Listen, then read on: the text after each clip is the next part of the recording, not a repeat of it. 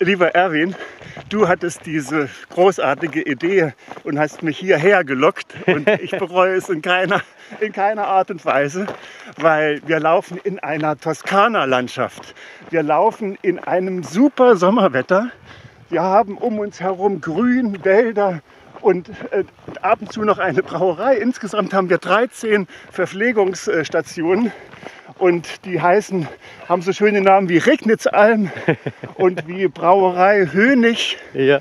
Und äh, wir haben also hier ein Paradies für Marathonläufer, eine der schönsten Läufe, die ich bisher erlebt habe. Und du bist dran schuld, Erwin.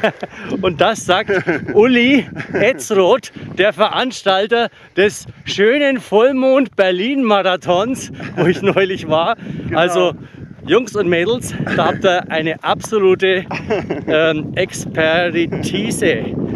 Der Lauf ist genial. Ja. Äh, Und nächstes Jahr am 15.